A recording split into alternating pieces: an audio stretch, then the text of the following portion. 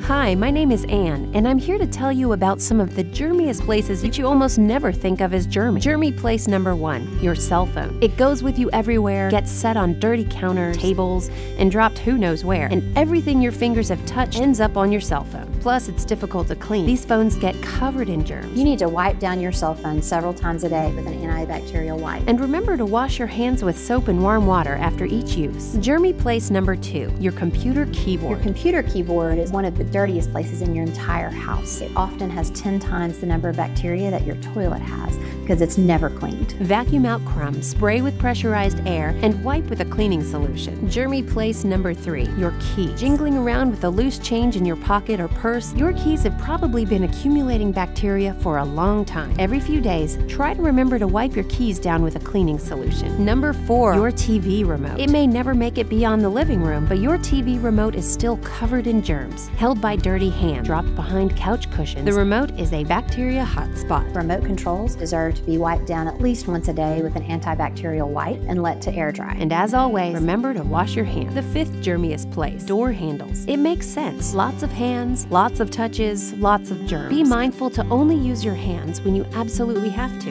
Use your sleeve or a paper towel on a door handle whenever possible. At home, clean your door handles frequently and anytime guests have been over. Okay, so it's obvious we cannot avoid all these germy spots in our lives. But just knowing about them will help you keep them clean. And of course, make sure you're washing your hands regularly with soap and warm water.